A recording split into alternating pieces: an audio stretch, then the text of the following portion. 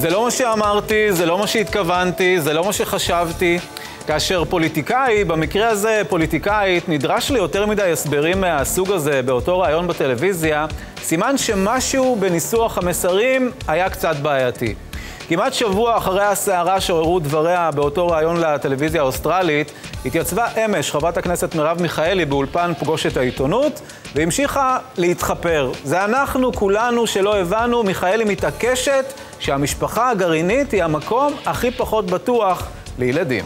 הציטוט אומר, מה המחויבות ההורית? מהי האחריות ההורית? צריך, צריך להיות מחויב לאיזה שהם קריטריונים שהמדינה צריכה להחליט עליהם. ואני אומרת לך מהם הקריטריונים. זה אומר שאסור להפעיל אלימות על ילדות וילדים. זה אומר שצריך לאפשר להם לממש את עצמם ולהיות מי שהם, גם אם הם למשל הומואים או לסביות. זה אומר שאסור לנטוש אותם באמת באמצע החיים שלהם ולהפקיר אותם. זה אומר שאסור להפקיר אותם כלכלית. אלה הדברים שאני מדברת עליהם. אלה דברים שקורים היום כל הזמן. זה מה שאת אומרת, אין בזה שום דבר חדש. אני מסכימה איתך, לא, לכן אני לא מבינה על מה הסערה. היא לא מבינה על מה הסערה. אז מה הקשר בין פגיעה בילדים בתוך המשפחה לבין תפיסת העולם של מיכאלי על משפחות מסוגים שונים? התשובה היא שאין קשר, אבל זה הטיעון שמספק את מיכאלי. מההסברים שלה אתמול נעלם באופן לא מפתיע ההסבר שהיא כתבה בעמוד הפייסבוק שלה בשבוע שעבר, לפיו המתקפה עליה היא עוד ניסיון של גורמים בימין הדתי הקיצוני להציג אותה כמפלצת מסוכנת. צודקים, היא אומרת, אני באמת מהווה סכנה לניסיון שלהם להפוך את ישראל למדינה חרדית שבה לנשים אסור לשיר, ללמד גברים וכן הלאה. אז הימין הקיצוני כאמור נעלם מהדברים של מיכאלי, כי יום קודם, ביום שישי אחר הצהריים, התברר שבין חברי הימין הקיצוני שתקפו אותה, נמצא גם חבר מפלגתה, חבר הכנסת איתן כבל. אין לי ספק, הוא כותב, שמאז ומעולם יש משפחות אשר בתוכן נעשים דברים נוראים. ולידיעתך, זה חוצה גבולות, תרבויות ועדות. אך האם בשל כך נרסק את המשפחה וניתן לכל הורה מלווה? ומי ישגיח לשיטתך על המשגיח? העובדה הכואבת והבלתי ניתנת להבנה היא שיש מקומות מלאי חולי בתוך משפחות, אך לדעתך הפתרון לכך הוא חיסול התא המשפחתי, שואל כבל. לא ולא מירב, לא את ולא אף אדם בעולם יכול לממש את רעיון העוועים הזה שאת מציעה, שלידיעתך כבר נוסה במסג... במסגרת הציבורית ואף התרסק בכל תרועה רמה שפרנסה ועדיין מפרנסת פסיכולוגים ופסיכיאטרים.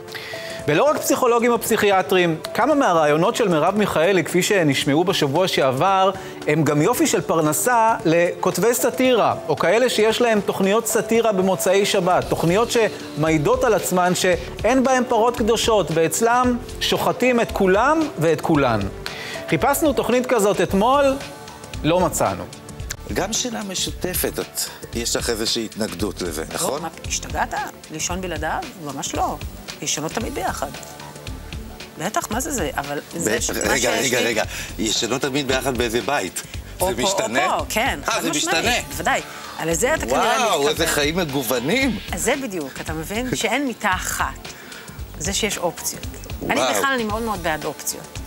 ישנות תמיד ביחד, ואיזה יופי שיש אופציות. אורח החיים של חברת הכנסת מרב מיכאלי עומד כמו פיל באמצע החדר. יש את העניין הזה שכולם מרגישים לא נעים לשאול עליו, גם כאשר היא מדברת על ההורות שלנו ועל מה שצריך לשנות בה, או לשנות בה, על פי מה שהבנו או לא הבנו. אני דיברתי על האופן הבזבזני שבו השלטון בישראל נוהג באזרחיות ובאזרחים שלו, ואמרתי שאימהות ואבות ואימהות, אנחנו דיברנו על זה קודם, אני לא רציתי מעולם להיות אימא. אה, אבל אני יודעת, והקלישאה היא ממש, שהרי הילדים זה הדבר היקר לך ביותר. אתה משקיע בהם מחלבך ומדמך, גם אמהות, גם אבות. ואז בישראל, כשהם מגיעים לגיל 18, זה כאילו הם נופלים לך מהידיים, וכאילו הם, זאת גזירת גורל שהם ילכו להיהרג במלחמות. ולא כן היא, זאת לא גזירת גורל. אז מדוע מי שהצהירה על כך שמעולם לא רצתה להיות אימא, אסור שתישאל על זה בהקשר של תפיסת העולם הזאת שהציגה לנו בטלוויזיה האוסטרלית וקוממה רבים כל כך כאן אצלנו. לבחירה האישית של מיכאלי יש קשר ישיר לקביעה המוחלטת שלה, כאילו המשפחה הגרעינית היא המקום הכי פחות בטוח לילדים. הבעיה, הבעיה היא לא אצלנו.